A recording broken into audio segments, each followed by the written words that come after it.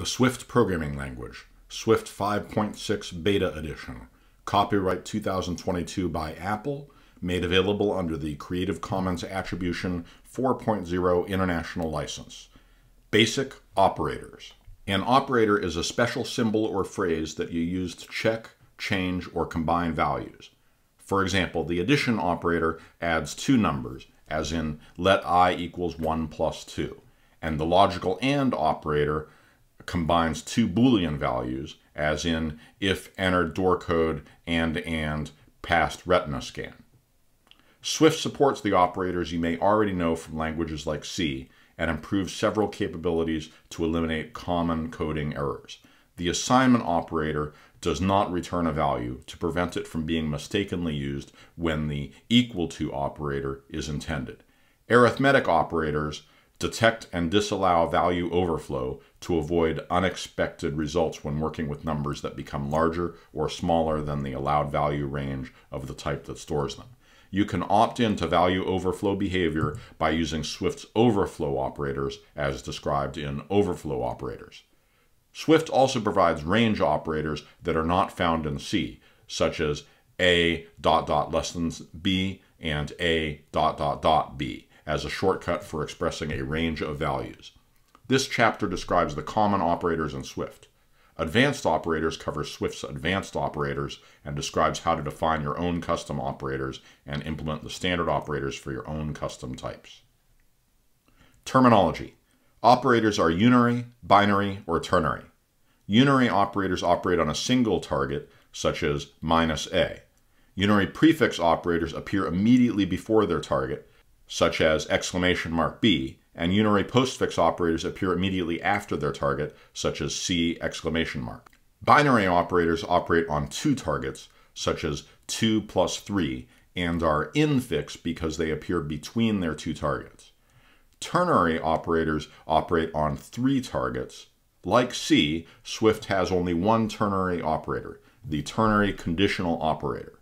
The values that operators affect are operands, in the expression 1 plus 2, the plus symbol is an infix operator and its two operands are the values 1 and 2.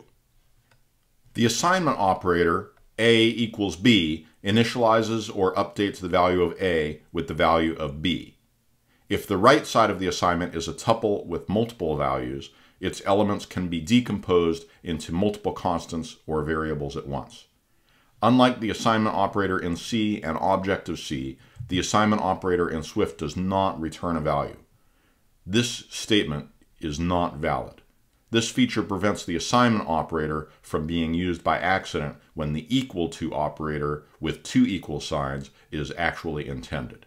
By making if x equal y invalid, Swift helps you to avoid these kinds of errors in your code. Swift supports the four standard arithmetic operators for all number types addition, subtraction, multiplication, and division.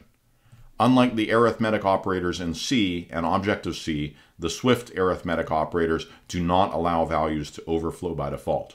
You can opt into value overflow behavior by using Swift's overflow operators such as A ampersand plus B, C overflow operators.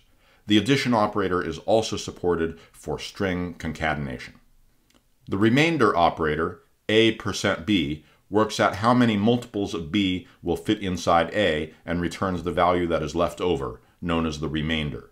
Note, the remainder operator is also known as the modulo operator in other languages. However, its behavior in Swift for negative numbers means that, strictly speaking, it is a remainder rather than a modulo operation.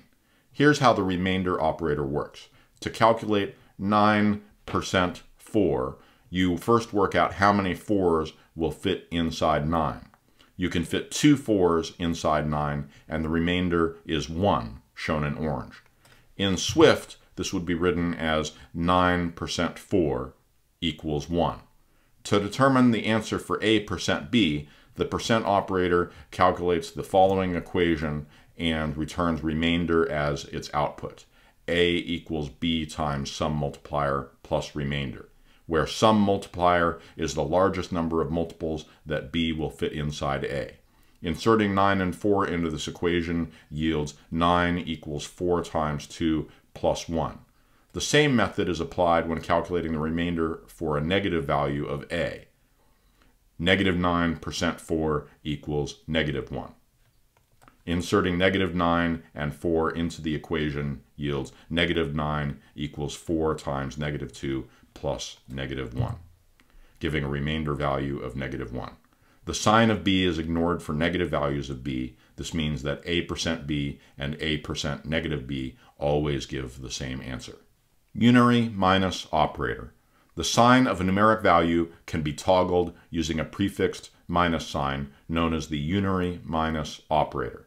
The unary minus operator is prepended directly before the value it operates on without any whitespace. Unary plus operator. The unary plus operator simply returns the value it operates on without any change. Although the unary plus operator does not actually do anything, you can use it to provide symmetry in your code for positive numbers when also using the unary minus operator for negative numbers. Compound assignment operators. Like C, Swift provides compound assignment operators that combine assignment with another operation. One example is the addition assignment operator. The expression a plus equals 2 is shorthand for a equals a plus 2. Effectively, the addition and the assignment are combined into one operator that performs both tasks at the same time. Note, the compound assignment operators do not return a value. For example, you cannot write let b equals a plus equals 2. For information about the operators provided by the Swift Standard Library, see Operator Declarations. Swift supports the following comparison operators. Equal to, not equal to, greater than, less than, greater than or equal to, less than or equal to. Note, Swift also provides two identity operators which you use to test whether two object references both refer to the same object instance. For more information, see identity operators. Each of the comparison operators returns a bool value to indicate whether or not the statement is true. 1 equal equal 1 is true because 1 is equal to 1. 2 not equal to 1 is true because 2 is not equal to 1. 2 is greater than 1 is true because 2 is greater than 1. 1 is less than 2 is true because 1 is less than 2. 1 is greater than or equal to 1 is true because 1 is greater than or equal to 1. And 2 is less than or equal to 1 is false because 2 is not less than or equal to 1. Comparison operators are often used in conditional statements, such as the if statement. For more about the if statement, see control flow. You can compare two tuples if they have the same type and the same number of values. Tuples are compared from left to right, one value at a time, until the comparison finds two values that are not equal. Those two values are compared, and the result of that comparison determines the over result of the tuple comparison. If all elements are equal, then the tuples themselves are equal. In the top example, you can see the left to right comparison behavior on the first line. Because 1 is less than 2, 1 comma zebra is considered less than 2 comma apple, regardless of any other values in the tuples. It does not matter that zebra is not less than apple because the comparison is already determined by the tuple's first elements. However, when the tuple's first elements are the same, their second elements are compared. This is what happens on the second and third line. Tuples can be compared with a given operator only if the operator can be applied to each value in the respective tuple. For example, as demonstrated in the code below, you can compare two tuples of type string, comma, int because both string and int values can be compared using the less than sign operator. In contrast, two tuples of type string, comma, bool cannot be compared with the less than operator because the less than operator cannot be applied to bool values. Note, the Swift Standard Library includes tuple comparison operators for tuples with fewer than seven elements. To compare tuples with seven or more elements, you must implement the comparison operators yourself. The ternary conditional operator is a special operator with three parts, which takes the form question, question mark, answer 1, colon, answer 2. It is a shortcut for evaluating one of two expressions based on whether question is true or false. If question is true, it evaluates answer 1 and returns its value. Otherwise, it evaluates answer 2 and returns its value. The ternary conditional operator is shorthand for this code. Here is an example which calculates the height for a table row. The row height should be 50 points taller than the content height if the row has a header, and 20 points taller if the row does not have a header.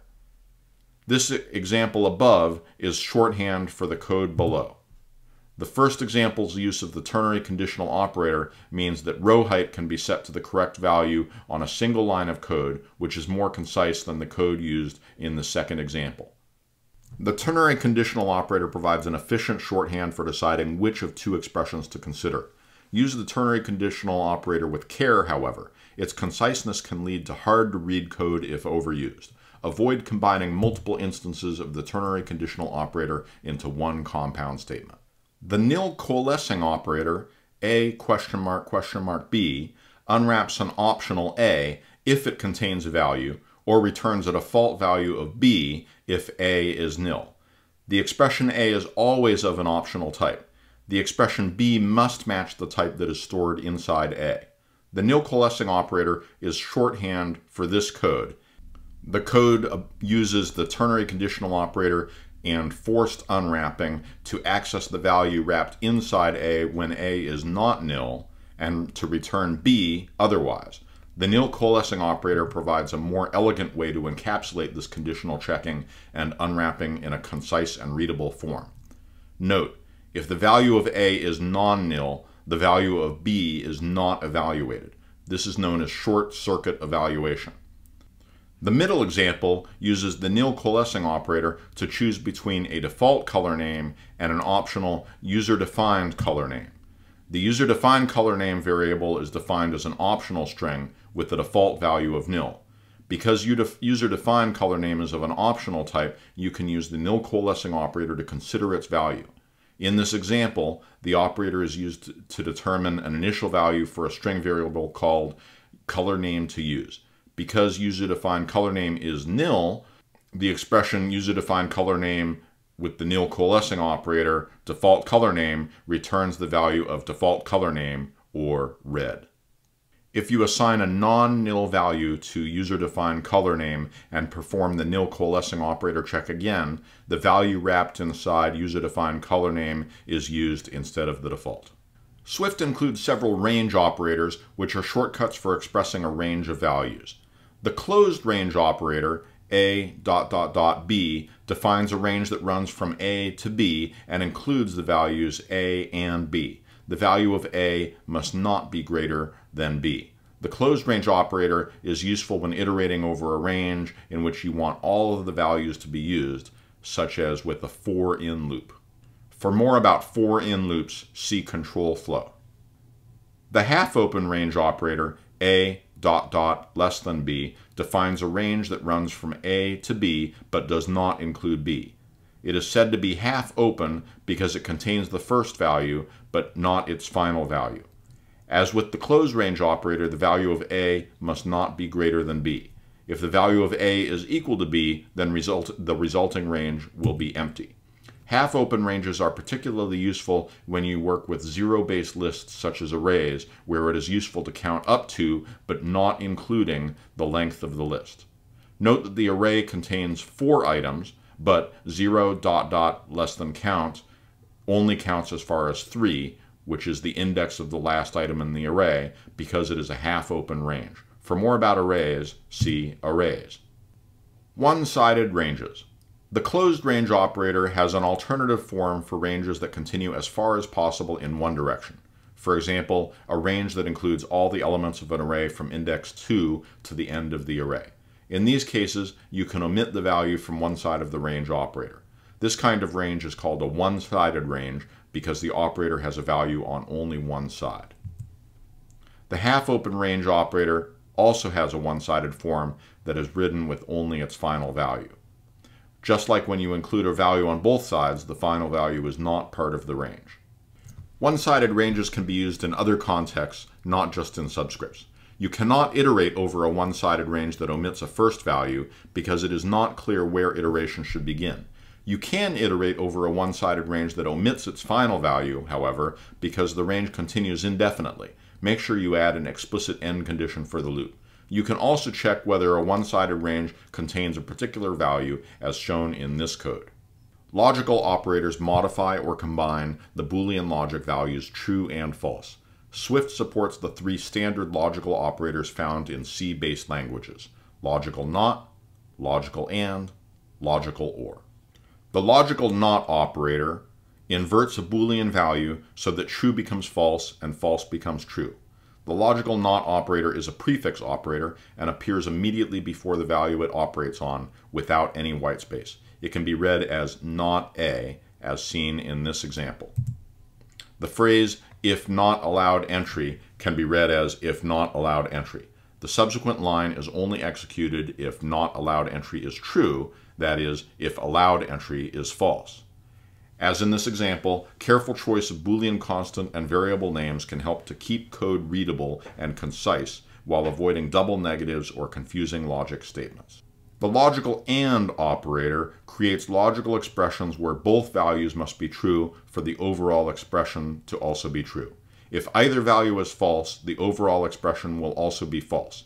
In fact, if the first value is false, the second value will not even be evaluated because it cannot possibly make the overall expression equate to true. This is known as short circuit evaluation. This example considers two bool values and only allows access if both values are true. The logical OR operator is an infix operator made from two adjacent pipe characters. You use it to create logical expressions in which only one of the two values has to be true for the overall expression to be true. Like the logical AND operator above, the logical OR operator uses short-circuit evaluation to consider its expressions. If the left side of a logical OR expression is true, the right side is not evaluated because it cannot change the outcome of the overall expression. In this example, the first bool value has door key is false, but the second value, knows override password, is true. Because one value is true, the overall expression also evaluates to true and access is allowed. Combining logical operators. You can combine multiple logical operators to create longer compound expressions. This example uses multiple logical AND and logical OR operators to create a longer compound expression. However, the logical AND and logical OR operators still operate on only two values, so this is actually three smaller expressions chained together. The example can be read as if we've entered the correct door code and passed the retina scan, or if we have a valid door key, or if we know the emergency override password, then allow access. Based on the values of entered door code, passed retina scan, and has door key, the first two sub-expressions are false. However, the emergency override password is known, so the overall compound expression still evaluates to true. Note, the Swift logical operators are left associative, meaning that compound expressions with multiple logical operators evaluate the leftmost subexpression first. Explicit parentheses. It is sometimes useful to include parentheses when they are not strictly needed to make the intention of a complex expression easier to read. In the door access example, it is useful to add a parentheses around the first part of the compound expression to make its intent explicit. The parentheses make it clear that the first two values are considered as part of a separate possible state in the overall logic. The output of the compound expression does not change, but the overall intention is clearer to the reader. Readability is always preferred over brevity. Use parentheses where they help to make your intentions clear.